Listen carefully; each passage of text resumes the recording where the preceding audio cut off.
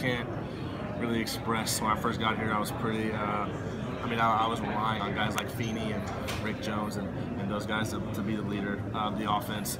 Um, now it's me, and so my, my confidence level has to be uh, through the roof. Um, and of course, when you get a, a whole season under your belt, uh, that adds to it.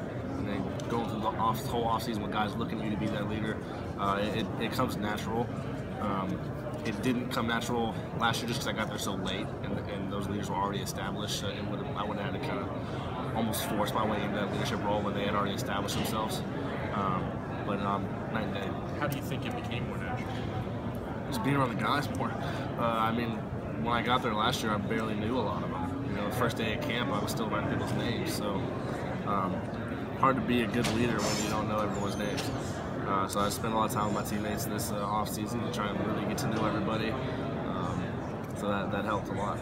Richard, you talk about the season opener. Your coach earlier hyped it as the biggest opener in IU history, and you get obviously get to, get to go against your former head coach. Does that add a little bit more kick to it for you?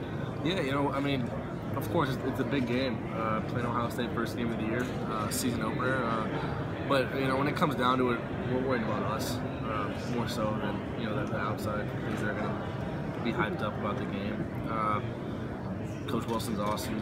Uh, it'll be good to see him if I get a chance to see him.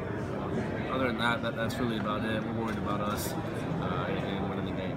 What kind of environment do you expect? Because you know, usually an Indiana game at home against Ohio State turns almost into a home game for the Buckeyes with a lot of their fans traveling. But what kind of environment do you expect since it's an opener and you guys of Indiana's played Ohio State tough the last two times in Indiana, losing by seven and by, by three. So they played them close. What what kind of atmosphere do you expect Yeah, I mean, I expect our fans to be out in full force. Um, it's going to be an electric atmosphere.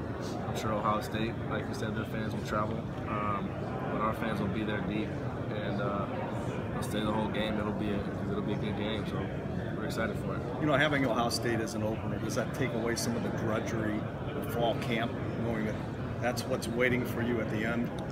I think it, yeah, I think it does. Um, we'll see. You know, um, it, it, adds urgency. If nothing else, it, adds urgency to the uh, everything. Summer camp, it adds urgency the off season and all that stuff. So uh, I could see it making summer camp, you know, not be as monotonous at times uh, because we're not opening up with, you know, no disrespect to anybody else, but we're not opening up with. You know, like Florida International last year, no disrespect to them, but it's a little different this year. Um, so I, yeah, I, I guess yes would be the answer. Fundamentally, what have you worked on to improve your accuracy um, throwing the ball? Uh, well, fundamentally, you know, it was never really an issue with me. My interceptions last year came on decision making more than anything. Um, so, I mean, I've continued to hammer uh, the base fundamentals of, of, every quarterback. You know, go through my, my drops and my footwork, make sure that's all sound. Um, but more than anything, this offseason, I've spent time uh, just studying my own tape, um, going over all my decisions that I made, not just the bad ones, not just the good ones, but every single throw. So uh, that, that's what I focus on the most.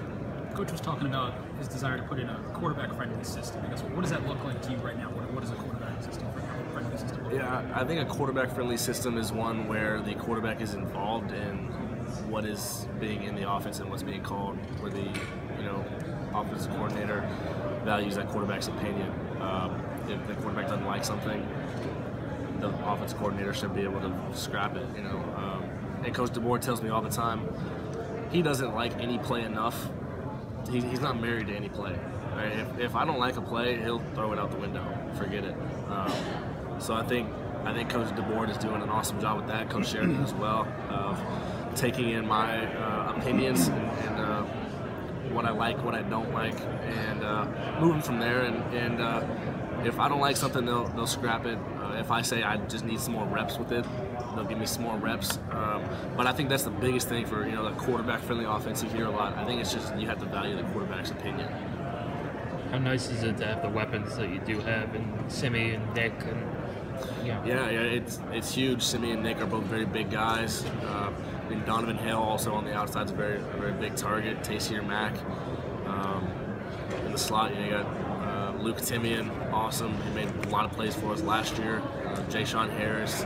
Um, Ian Thomas, our tight end, you know, we got some young guys that also could make some noise if they're able to pick up on the offense quickly. So uh, it's very exciting um, for the offense. Uh, I'm extremely excited to have those guys, of course, throw the ball too. Coach Allen was talking earlier about getting this team to believe and what goes into that. How, how would you assess how that's gone so far, and what, what has he done to help kind of turn that mentality around? Yeah, no. Uh, when he got here last year, um, he got the defense to really buy into everything. I'm sure he talked a little bit about that, and, and we were not around him as much last year. You know, he's defense coordinator. Um, so whenever he took over, the thing for us was making that switch to the offensive side of the ball that the defense made. Right? They all truly love each other on the defense side of the ball, and they did all last year. But on offense, at times we weren't we weren't as close as the defense was and it's it's, it's, it's happened. So we went through all off season with him. Um, we were all on board you know, immediately. There was no adjustment period to, to Coach Allen being the guy. We were we were on board immediately. And, um, it just takes leaders to step up and uh, reinforce whatever the, the coach wants. So for Coach Allen, he wants us to love each other. Well, then we're going to enforce that. that that's that's going to be our thing. You know, if if you love each other, it's uh, it's a powerful thing, and you, we don't we don't take it lightly. It's not just a uh, corny, you know, a catchphrase or something you can put on Twitter to us. It's uh, it's real. It's something that we live every day uh, on and off the field. How can you tell?